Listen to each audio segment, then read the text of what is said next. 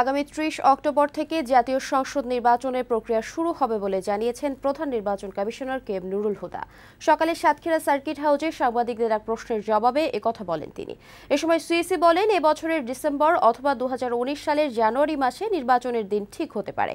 আগামী সংসদ নির্বাচনে ইভিএম পদ্ধতি ব্যবহারের কোনো সুযোগ নেই উল্লেখ করে তিনি বলেন, প্রশাসনিক জটিলতা, নদী ভাগর সহ বিভিন্ন কারণে আসন পুনর্বিন্যাসের কাজ চলছে। পরে সুইসি সাতক্ষীরা জেলা নির্বাচন অফিস পরিদর্শন করেন।